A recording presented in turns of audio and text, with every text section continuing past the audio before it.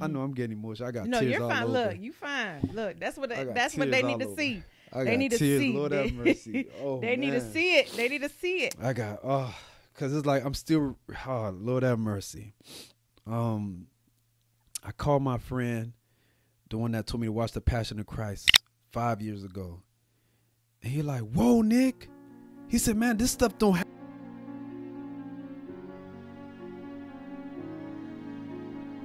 So the third girl that I met, that's why I always say you. I always tell dudes this. I don't know if it still applies now. I say you'll probably have three real people that run into your life that you mm-hmm. probably could consider your wife. Mm-hmm. Only three. I don't, the number is probably one or two now. Mm-hmm. Yeah. one or two, unless that guy be like, all right, I'm gonna grace you. yeah. But um, I met a girl at 27. So main girl, I had other girls on the side, other girls that I was dating, and then God was revealing to me that I was in error in a lot of ways. So one time I had a dream, um, and I remember this vividly because I know most people don't believe in dreams, but I just proved to them that why they should believe in dreams because I wrote this while I was 23 years old. Yeah. So I already know God. I, so that's one of the things I'm like Joseph. Like God just revealed them, some things to me through dreams for some strange reason. Me too. Yeah, but but when I was 20, 20 around 27 or maybe 27, 28, but I'm gonna just say 27, I had a dream that I was in a nightclub Mm. and I was going around talking to women. And then it was this dude that was dating the women. He pulled out his gun and he shot me Mm. in the neck. He shot me right here in the neck. And then I fell down like in slow motion. It felt so real because like I felt like in, I was going slow in my dream. And then my soul came out my body. And I'm trying to like hold it down like no no no no like don't go. And it just came out. Mm. And when I looked in the nightclub, I looked down and I see my body. And then I see my friends circling around my body. It's like, man, somebody shot Nick, somebody shot Nick, somebody shot. That's what they were saying in the club. And when I see my body, whew, I went up. Mm. And then I, I already knew where I went. God wasn't pleased. Mm-hmm. I said, God, please, I beg God. I said, God, please, please, please spare my life. Please, I won't do it again. I'm gonna change. I'm gonna change my life. I'm pleased. And then, and I'm as I'm begging God throughout the whole dream, I open my eyes in real life, and the sun is shining on my face in real life. And I went, I got up and I was shocked. Mm. So I called my um one of my club buddies, and I said, "Hey man, I just had this crazy dream." And he said, "Man, you tripping, man? That's just a dream. You tripping?" I said, "No, man. This stuff felt real. Like I feel like something is going to happen to me. Like God is going to take me away." Mm. And he was like, "Nah, man, you tripping, man. You just going through a little phase right now." And I'm like, "No, I'm not." I said, "This stuff felt so real." So what I told him, I said, you know what? I said, fellas, look, I love y'all and all. I said, but I ain't gonna go to no club. I'm just chill at home. So what they would do, they'll stop by the house. They're like, hey man, Nick, you gonna go out? I said, nah, I ain't going out. Mm-hmm. So that was week one. I said, I ain't going out. They said, man, Nick is going through a phase. He tripping. He done had this crazy dream. Now he don't want to hang out with us no more. And then, um, and then week two came around. Nick, you gonna hang out? I said, nah, I ain't going out with y'all. I said, nah, I'm good. I'm good. I ain't hang out with them. So week three came about. I said, no, no, no, I ain't, I ain't going out. And then finally I gave in. I said, you know what? Maybe that just was a phase. Maybe it was just yeah, a dream. maybe it was just a dream. It was all a dream. Yeah, yeah. so I end up going out with them, and then I'm still 27, and then you know met this woman, and then I think that was around the same time that I met my third girlfriend. I know I said I met this girl, but I th- wanted to share that before I s- say that. Mm-hmm. So I didn't go to the club for like three weeks, and when I finally went to the club, that's when I met this girl, the girl of my dreams. I wa- I was at the door. I seen this girl. I had on all white, and then I seen in the dance floor, this dude was trying to talk to her, and then my personality, I quickly jumped in front of him, whispered some in her ears, and she like, "Boy, you and know, who is that girl? who is that girl? your best friend, your best friend." so um, I started to talk to her, and then um, one thing led to another. She didn't like what I did because she felt like I was talking to every girl in the in the club, and I'm I was lost, y'all. So this is a person without God, right? And I'm not encouraging y'all to find y'all spouses in the nightclub. I'm not, Not doing that either. Mm-hmm. But I'm just trying to show you that there there came consequences with that. So Mhm. she took the initiative to say, say, you know, I'm interested in him, and I was interested in her, and I really liked her. I'm like, Mm. man, she cool. You know, she got a nice little vibe, a nice little kick. But at the same time, I had that that hood mentality. Like it's okay to have others on the side. Mm-hmm. You don't you don't have to settle for one, right? And then so me and her we talked for a little bit, and she was she was at the time younger her. She was like, I'm a woman, woman. I know what I want. Mm-hmm. I'm not one of those other girl. I know what I want. And Yeah. she's like, what you gonna? I'm like, look, I'm just trying to figure things out. Mm-hmm. Trying to go to school. I don't know. I'm just trying to figure things out. And then we kicked it for a little while. Um, I loved her, luster, and then But you still had some chicks on the side. I still have some chicks on the side. I, I'm s- I'm helping some sisters out because Yeah. them sisters listen to they be like, wow, like this dude went through that. That's how dudes think. That's how a ungodly man think. and there's no sometimes let- conviction. Let, let me burst your bubble. Oh boy. Some of the brothers in the church, they think the same way. Well, if they're in the church, God was gonna deal with them accordingly. But that's what I'm saying. Yeah. But Sometimes we think it's just ungodly men. But it's some of the brothers in the church too. oh boy. So and, But- and, and but- I'm I'm just I'm just putting it out there. Yeah. So so men in the world don't feel like oh this brother's bashing us. Nah, it's it's a matter of the conviction, realizing that you are a man. You were created to be a husband, Husband, yes. not to be a temple violator. yes. I like Right? that. You Temple violator. I like that. you that. can't just be hopping from temple to temple and temple to temple. It's Mm. like you understand Yeah. what I'm saying? Yeah. You you have to get to the point where you understand God created me first. Yes. I am man. yes. Before God created this woman, he created me. Mm. He gave me life. He breathed Yahweh into me, Yes. right? And then he takes from me a rib and fashions and forms her into this amazingly beautiful creature. And all I want to do is violate her body? Yes. right? And it's not just men in the world. This Mm. is brothers in the church. So Wow. I'm sharing this as as you're sharing is that everybody has work they have to do, especially us women.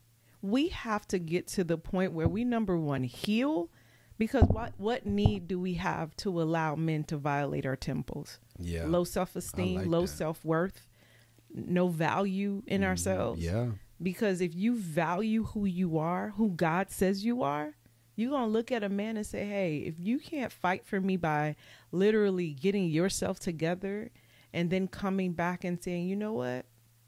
I want to marry you. Yes. I want to spend the rest of my life with you. Or, you know what? I'm not the one for you, but I know somebody who is perfect for you. Yes. And you introduce them. Mhm. So that that I wanted to make sure I put that out No, there. no, I'm glad. Yeah, you pointed that out just to get people thinking. Like, and it goes to show you that a, a person got to have a love for Christ, a Yeah. relationship Yeah. to really understand. I like you said, you temple abuser. What you got? Temple Tem- violator. temple violators. Lord have mercy. But let me continue. Let me just say this, right? Um, so this third girl I met was very special to me because she reminded me of like love, like Mhm. I because I thought I never could have find love again, like. Mm. Even though I feel like, well, that's not actually love. I don't know. i well, that's the You- way that I me say- thought. let me say this: you may have loved her, believe it or not, and the reason I'm saying is the way you're smiling when you go back to that point, right. right? It wasn't that it was just her body; it was something else. Yeah, yeah, you absolutely, absolutely. Yeah. You understand? And your way of love, it was there. It wasn't just the lust factor. right. It was something because I'm looking at you as you talking about like you went there. You like, yeah, I really. It Yeah, wasn't just you yeah. thinking about sex. It was like there was something special about this woman. right. Right. Go ahead, continue. Yeah, so and uh, so let me let me say this. So on May 23rd, um, it was her birthday. It was Memorial Day weekend. I dated her for a while prior to that, and then we we were both worldly, worldly individuals, no God. Mm-hmm. Um, but the one thing that that I want to add before I say what I'm about to say on May 23rd, she, I remember when she invited me to her house, she had a Bible. Mm. So she had a foundation. That Bible scared the devil out of me, and I was scared of the Bible. Mm. But I knew, like you said, she had a foundation. But me and her, we talked, digging her like her conversation, and um, but also had others on the side. But I just couldn't break loose of that. How do you, how do you break something that you already established for all those years Mm. without God in Himself intervening? Right. Yeah. So I remember on May 23rd, me and her, we had a this huge argument, and we both were speaking French and Mm. was going at it.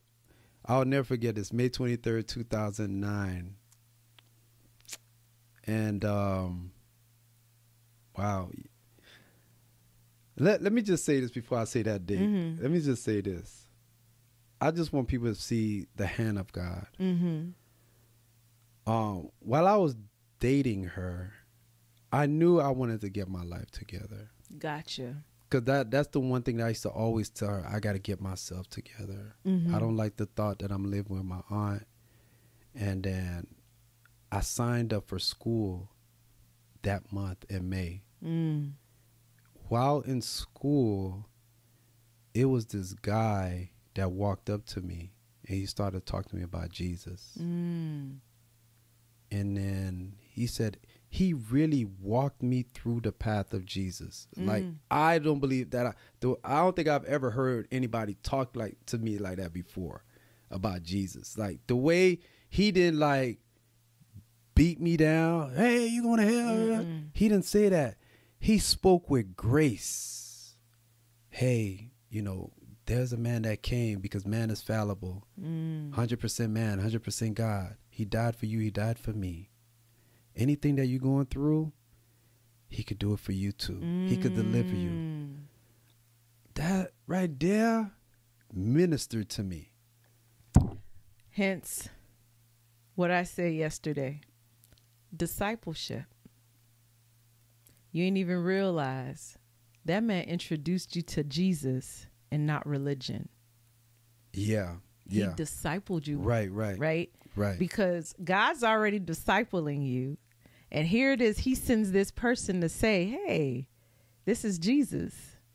He loves you. yes, yes. As a matter of fact, He loved you so much, He died for you, yes. right? Yes. So God is preparing you for the next phase, Yep. Right? And this person talks to you without taking a Bible and beating you over the Nah, head and he saying you that. even, you you this, you that. He said, "No, this is Jesus. This is who Jesus is. He's long suffering. Yep. He's he's jealous. He's kind. He's Yes. merciful. He's peace."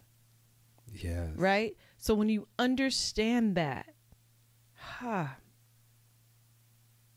when you understand, oh, Jesus, Father, forgive me.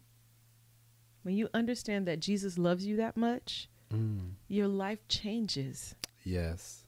When you understand that Jesus did all of that for you, Mm. there's no way, there's no way that you can Mhm. continue in Yeah. the life that you're on. Yeah, uh, I I wanted to mention that because God has His servants everywhere, and people like you and I that go and we tell people about Jesus, and especially that might be listening to this, they might say, that might probably be their sign Mm-hmm. to draw closer to God. You know, because God has His people working everywhere, planting seeds, planting seeds. And I wanted to kind of like highlight that. That's why I said I wanted my walk to highlight God Mm-hmm. not me, but God. This is what God did, right? Because, like you said, we don't want to put God in a box, Mm-hmm. right? So this guy, he told me what he needed to tell me about Jesus. I went home that night, that evening. I went to the liquor store. I sat in the dark room and I started to drink. I said, God, I ain't right with you, God. I don't know what my life is. And I just started like chugging it down. And I'm like, man, I don't know, Lord. I just don't know. And I left it as that. But I was still in a relationship with my third girlfriend, the third girl that I ever had in my life. Mm-hmm. And then, you know, experiencing these things here and there. And then, boom, May 23rd happened. Mm. Because this happened around May 4th, May 4th, May 5th, that same year, 2009. In fact, that was five years from when I wrote that in my journal. Mm-hmm. So now I'm 28 years old mm-hmm. in 2009. So I wrote in my journal 2005, 2004, and now two five years later it's 2009. So five years later, that's grace. Five years grace. later, God gave right? you grace. so and on top of that, the fifth month, that's grace Mm-hmm. because all this is happening in May, fifth Mhm. month. That's great. So the God spoke to God spoke to me in May about Jesus, like May fourth, May fifth, and on May twenty third, I get in this big argument with my girlfriend, Mm-hmm. and I I, I lit her up, and then my one of my friends came over. And then he was hanging around with me because it was Memorial Day weekend. You know what folks do in, in you know sunny South Florida, Dade County. Mm-hmm. They go to South Beach on Memorial Day. Mm-hmm. So I told my friend, I said, man, you know, I don't feel like going out tonight. I said, it's just one of those nights. I don't feel like hanging out tonight. Mm-hmm. And so, you know, he and I, we're drinking, we're talking, we're calling the other women to see what they're up to. And my aunt was sitting on the couch, and my aunt just gave me this weird look. She said, my nephew life is finished. Mm. That's what she said. She just looked at, she said, La vous fini. yeah, that's what she said. And I looked at her, and I laughed. I had to be. I had to be the Haitian Yeah. one. La ville fini. When she said that, Adney, I laughed. I Mm. said, "My auntie don't know what life is." She, I laughed at her. So, what happened? So when I was with my friend and Monty saying all this negative stuff about me, um, I ended up falling asleep, Mm. and um, yeah, this is the part that get me right. Wow, you know, I still get emotional as I think about it. Mm-hmm. It was May 24th, um, 2009. Um, my brother, my older brother, um, I had a, I, I fell asleep uh, May 24th, 2009. Mm-hmm. I fell asleep and uh, in my dream, my brother knocked on the door and uh, I opened it. I opened the door Mm-hmm. And my brothers told me, he said, Nick, God gave me the picture of the devil. Mm. And I said, What you mean he gave you the picture of the devil? He said, Look, I got the picture right here. I could show it to you. And then I was looking at this picture that he was showing me, but it was 3D and it was moving. It was like a, a black spirit moving inside of it. You could see the world.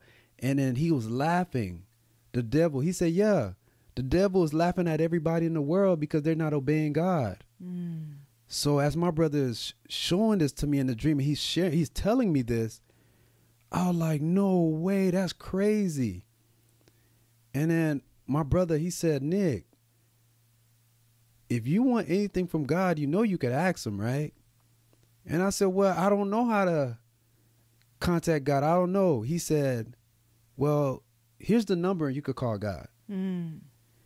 And then he gave me the number. And then he when he put the number in my hand, I looked at the number and I said, I don't know, I don't know. I looked at the number, I said, you know what, I'm gonna call it because I'm gonna ask God anyway.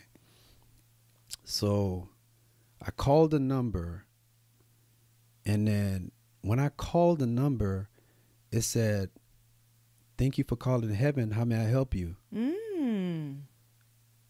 I said, What? She said, Yeah, thank you for calling heaven. How may I help you? And immediately when I spoke, I was in my living room space in my living room where my brother gave me um, Mm-hmm. the phone number. Immediately, my body, spirit, soul went straight up. Wow. And then Mm. when I'm in this place, I remember after opening my mouth, it was a place was all white. It was all white. Mercy. And I remember being in this place in my dream that's all white. I remember looking down because the presence was so pure. I was I, I looked down and then it was a voice like thunder. Mercy. He called me by my full name. He said, Nixon. He said my last name. Mm. Vane. What do you want? Mm.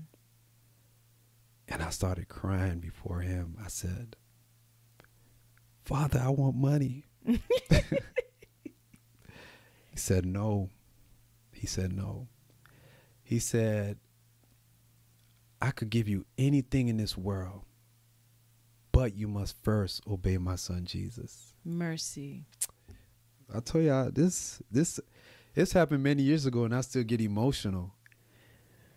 And God the Father with his thunderous voice told me, Nixon, whatever you want I could give it to you. He said, if you want a family, I'll give it to you.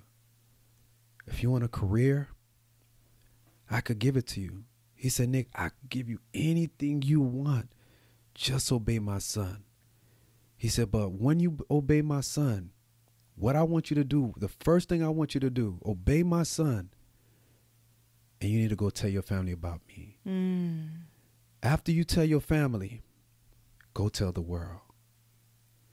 And um, I said, I said, Father, I'm gonna do that. I, said. I told, I told God, I said, I said that's what I'm gonna do, God. I said that's what I'm gonna do. And he said, okay, now go back. And I was in a place that was all white. It shot back down in the living room. My body shot back down in the living room. And then my brother was there, my older brother, my cousin was there, my little sister was there in my dream.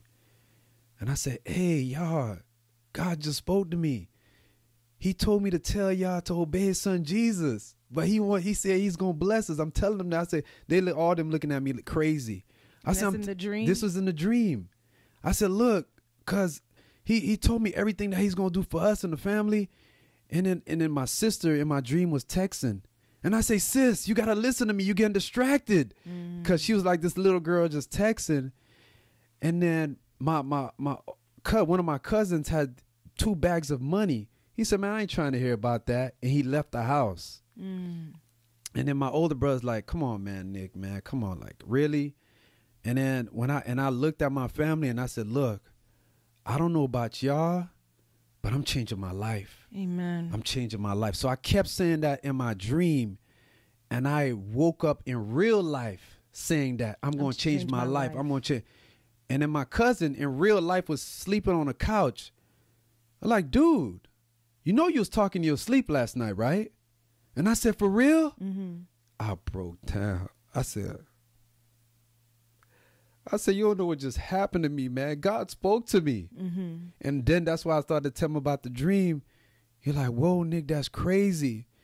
And I remember I had to get up early that morning to go take a shower for work. And I'm thinking, like, God, who who do I go to? Like, Where do I, I, find I, your don't son? know who. Yeah. I don't know where to go, which direction to go. I'm just, I know you told me to do this, but where do I start?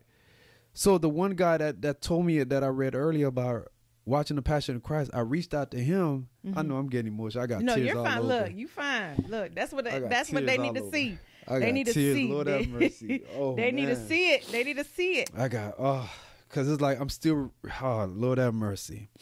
Um, I called my friend, the one that told me to watch the Passion of Christ five years ago, and he like, whoa, Nick. He said, man, this stuff don't happen all the time like that. Mm-hmm. What? He said, the Father spoke to you, and I told him everything in detail, like I just told you. He said, "Wow, Nick." He like blown away what I told him because imagine hearing it in real time that it just happened. Mm-hmm. And then I was so shocked when I went to work. That was I was on my mind. And then so when I got off from work, I called my girlfriend because that May 23rd, me and her had a huge argument. So the 24th, I called my girlfriend and I told her, "Hey, um, I'm gonna change my life." Mm-hmm. And she said, "Boy, stop playing." Like she like, "Dude, you just argued with me last night, so all of a sudden you gonna change your life now?" I said, "No, like." something serious just happened to me, Mm-hmm. and I'm I'm I'm I gotta change my life, and and again I was still searching. I didn't know which direction to go. Um, I I started looking for churches on my own. I didn't know who to go to. I went to a, a Christian bookstore. I bought me a study Bible. I bought the wrong one. I, Lord, those study Bibles. Go ahead. I went to I bought a study Bible and then and I always kept in touch with a sister. And she's in a, she been in the body of Christ for many, many years. Mm-hmm. Uh, sister Prince, Mhm. Katia Prince. Praise God. She just got married. Glory to God. Glory may to God, God. May God bless her marriage, her Yeah. union. Mm-hmm. But Katia been in the church with like like years before my salvation. In some way, somehow, I was led to reach out to her. And then what I just shared on this episode, the experience that I had, um, you know, she ended up inviting me over and then she started to talk to me about the love of Christ. Mm-hmm. And I told her my experience. She's like, "Wow, Nick, wow." And I said, "Look, I don't have a church home. I'm I'm still trying to figure this stuff out because Mhm. what happened to me is not normal." It's not. And I'm like, I'm still trying to figure this stuff out. And she said, "Well, Nick, um, I go to this church. You know, She's she's at Pembroke. yeah. She said, I go to this church, Church of Christ, and if you want, you could check it out. Could be you could be my visitor. And I said, okay, um, I'll check it out. But I I still didn't go because I'm like, you know, I'm like I'm still trying. It, it's I, I'm still shocked that The father spoke to you. he spoke to me. I'm shocked. I'm still like at disarray. My family don't know what's going on with me. They think I'm losing. I'm going crazy. I'm like, this is not normal. How- Who can explain this stuff to me? Mm. And then so my girlfriend, you know, me and her reconciled from the 23rd. And then so me and her meeting up again. And I'm like, I don't think what we're doing, we can't do that anymore. Mm-hmm. You know, the fornication, cause cause God was really doing a thing with me. And I'm like, He's trying to mold me and break me down to put me back together. And I'm like, we can't be doing those things together anymore. Mm. And then I remember one time spending time with my girl while I'm going through this whole transition. And then she said, she looked at me like this Since you're trying to change your life, have you ever cheated on me? I said, You would ask me that question. I said, I know this. She did. I said, what kind of. Adney, You looked her in her I eyes. I looked her in her eyes, and then I looked down. I said, "Yeah, I cheated on you. I, I wasn't a man. This and that. I just was being a mom." She said, "Oh, how could you? How did you find time? How did you? This and that." I said, "I'm sorry. I'm Mm. sorry. I'm sorry. I'm so sorry. God is working on me. I'm sorry." And then she didn't talk to me. so didn't- she ended up breaking breaking it off. yeah, she didn't talk to me for three weeks, and that's when really God really had His hand on me. Mm. So at this at this point, I'm like, okay, I gotta start start. I- I'm still trying to figure things out, and and and I'm sorry. That's when Katia came in the picture. Mhm. Sister Prince came in the picture because this is where I confessed, and all this stuff is coming at me. I'm trying to figure it out, and then uh, my girl at the time then talked to me, and then I said, you know what? Um, I gotta figure this thing out. Then Katia came in, and I remember one time sleeping at, in my bedroom, and I left my TV on, and then while I'm sleeping, I got up in the mid, like in the in the morning. Yeah, because he used to come on about what Yeah. six in the morning, I think it Yeah. I woke up in the morning. The TV was on. I woke up in the morning. I hear Brother Daniels preaching, young Brother Daniels. Mm-hmm. I look, I said, and I look, and I'm like, wait a minute, that's the church that Katia. Katia want me to go to. Mm-hmm. And that's when it started. To, I started to connect the dots because I'm still trying to. I'm still looking for a church. I'm still trying to figure this out. Trying to do this thing on my own. But God was already putting things in, together for me. Mm-hmm. So when and then I, I like, wait a minute, God, you want me to go there? Mm-hmm. And that's when I said, you know what, I'm going there. Mhm. Got my study Bible. I went to I went to church. The first week I went there, I sat all the way in the back, greeted Katia because Katia was the greeter. I greeted her, went in, sat to the back. It was a great word the preacher's like, somebody in here need to give they give their and life to the Lord. Give your life. I'm like this in the chair. like this. Before I go any further, what could preachers do to brothers that was like me, that's straight out the world and that don't want to go up? The first one. Okay, so this is the thing that I'm learning. Uh huh. You may know that there's a soul there that needs to come up. Mm-hmm. After your sermon, you got to go and invite the brothers out and have a conversation with them and disciple them. What about they take off? That's why you that's why your greeters is at the door. That's why one of the reasons, let me tell you something. This is why Mm-hmm. I love Alvin L. Daniels Jr. Right after he preaches, he don't stay inside. yeah, yeah. He's at that door. yeah, Right? So if you trying to sneak out, he already beat you to the door. yeah. So that way he has he's shaking your he's shaking your hand. Right. He's talking to you. He's letting you know I'm here. Right. So preachers need to be more more personable. Yeah. Because the thing about it is, people in the world look at preachers, they automatically have this notion that, oh, he's after God in Jesus, it's him. right. And right. they fail to understand that he's a man just like you. Yes. Yes. If if preachers would stand at that door and greet Mm. that non-member and show him I'm a man just like you. The only difference between you and I is this suit yeah. Yeah. right? And you start that relationship Mm. and you start talking to them about Jesus and even share your story as how you came to Christ. It Yeah. makes it easier because then this man, especially because the church has been feminized. Mm. A lot of men are not coming to church. Who's in the church? When you think about it. Yes, when you go to yeah. worship service on Sunday, who's there? A whole bunch of females, maybe five or ten men, Yeah. because their wives are there Mm. right? The church has been extremely feminized. It's time for us to start doing the work to show people this is Yeah, this that's is why I'm helping the brothers out. You know, we got a series coming out where Yeah. we're talking about men and try to edify them and Yeah. and instill in them And about teach their them God, about the- their the- God given purpose. exactly because most men don't know that. Yeah. Exactly. and that's why you know when I share my story, it I didn't have a man to teach me about manhood, exactly about being a leader, about being a priest, a provider, and a protector. I didn't have that. yeah So you know, coming up with you know broken home, single mom, single aunt, and you don't have an, no structure. So a mm-hmm. lot of our communities are like that. You know, Yep. so that's like, man, you you it's just the streets raise you. The streets tell you to do things that are contrary to God's word. yeah again i'm about to flip that even those who grew up in the house with the father if the father is not there doing the fatherly thing Yeah. does it really help that the father is in the house Mm. if he's not active yeah. Just take it to the church. A lot of ministers, yeah, they're doing the work of the Lord. I commend you. But if you're not there the way that you need to be, when your child strays, can you really blame them?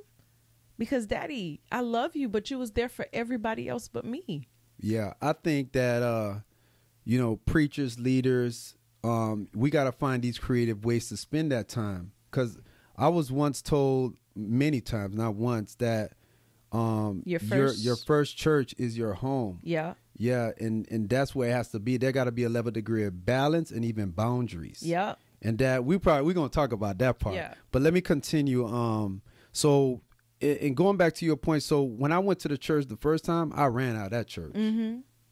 Devil didn't like but that. who who who was who who was there waiting for you though? Katia, Sister Prince.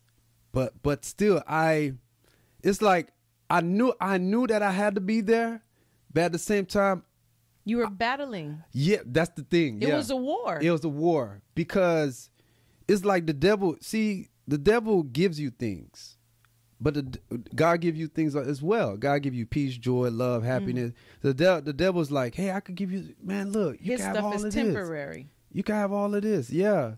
And I didn't share the part where God really got my attention because there's a point that I got real sick. I mm. didn't share that part even before I got to the church. So the devil knew that I was going to make a transition. And I was on the verge. I went to a hospital, Adney, and I ended up getting real, real sick. And then that's when I asked God, I said, God, you spoke to me. I said, what do you want from me? He I, your I didn't share that part. Mhm. That was when I was going through my whole three week thing, and it was a dude that sent me a text, and he was like, "Give your life to Jesus Christ." I ain't hear from him in a while. This dude, I had his number, but I haven't spoke to him, heard from him in a while. He sent me a random text, "Give your life to Jesus Christ." I'm like, what? All this stuff has happened in the span of three weeks. Because God is saying, Yeah. give your life so to my son. I was connecting the dots. So that's why when I went to church the first week, you're right. I was battling. I was just battling because I was battling with the world and God. I don't want to give this up. Yeah, I didn't want to get it. Yeah. Yeah. So I left the first week. So the second week I went there again. I said, okay, okay, God, I know this is a word. I know you want me to do something, but I, I'm still trying to figure things out. Again, Brother Daniels, as he always does with the Holy Spirit, preached a dynamic, powerful word. And then I was like moved by it. And I felt the need to go up that second week. And I just didn't. Cause Now that's the Holy Spirit. yeah, it Pushing you. You're- Yeah. Let me say, because we get the Holy Spirit in baptism. That's your spirit Right. because your spirit is saying, okay, since you in the flesh, let me take over. Right, Because right. I'm ready to be with my dad. Right, Right. right. And Willie said something so powerful in the sermon. He said the reason God didn't allow Moses to see his face is because of the spirit that's in him. Mm. That spirit longs for God. So if God would have showed Moses the, his face, the spirit would have left him and went back to God. Mm. Right? Wow. So your spirit is longing for God mm. at this time. Right. And your flesh is saying, nah, we can't do it. But the spirit is saying, we got to go. Yeah, and I want people to understand too. You know, I dealt with even alcoholism, alcoholism, fornication, just cussing up a storm, just negative thoughts. All this stuff All is going on with me. Yeah, so, so I, I'm like I said, like you said, I'm battling. Like in my mind, I'm saying, okay, if I give my life to the Lord, that mean I got to give all that stuff up. Cause you know how, how some people say, "Oh, I gotta wait till I get 100." That's why I always tell them, "Nah, dude, don't. You'll never be 100, You will right?" never be 100. So that's what happened. I'm battling. So the second week, I'm like, I heard a word, powerful word, by the way. I went home. I'm like, I'm like, man. And then boom, I run into, I run into one of our dear brothers. He like, um, well, prior to that, prior to that, I ran into my dear brother because, like I said, all this stuff was happening in the span of weeks. And he like, man, nigga, what you up to? I said, man, I'm into the Lord. So God was connecting me with people that was following, like trying to follow Him. And I had other friends that bashed me, say, man, Nick losing his mind. And other friends was like, man, leave Nick alone. He doing the right thing. So I'm even battling with within in my home community. Mm-hmm. Keep in mind, I used to hang around with these dudes. But think about it.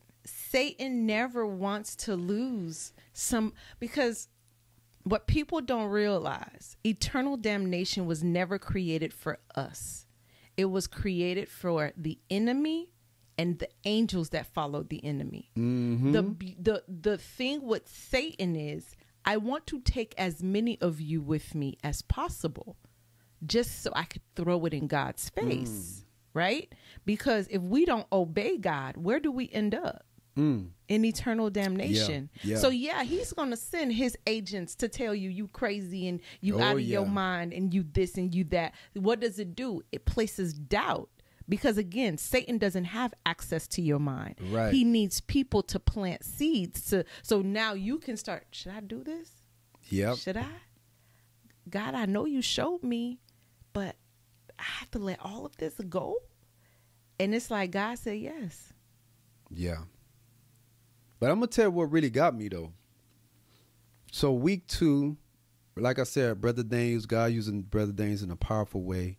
Brother Daniels at the end, you know, saying, you know, you gotta hear, believe, repent, confess, and be baptized for remission of your sins. And yeah, I'm gonna tell you when it clicked, when it actually clicked. So the third week I'm going to worship. I'm going to worship and and I'm driving and it started raining. Mm. And I'm like, wait a minute. So, God, it's raining. You want me to get wet. Mm. That's when it clicked. all this time I'm hearing I'm hearing this here, believe, repent, confess, and be baptized for remission of your sins, and you shall receive the gift of the Holy Spirit. I'm hearing all of this stuff, but it's like God personally came within my spirit and spoke to me. You need to get baptized. You need to get Here's some rain as a sign. Cause this is the only way. Lord, you- give me a yeah, sign. This, this is the only way my servant. This is the only way you're gonna understand. So I'm driving in a hot car. I, I drove the bucket. It was a bucket, no Look, AC. It got you where you need Yeah, to go. Yeah, I'm driving. I'm driving to church, and it's raining. I said, "Ah, God, you want me to get baptized?" So after the after the um, you know, preach a powerful word, Brother Daniels says somebody here need to get, you know, they need to get saved. I still remember the brother that prayed. You know, they did prayer, opening prayer, and then towards the end, I reached out to one of the seniors, one of the leaders there. I said, "I'm ready to give my life to the Lord." Amen.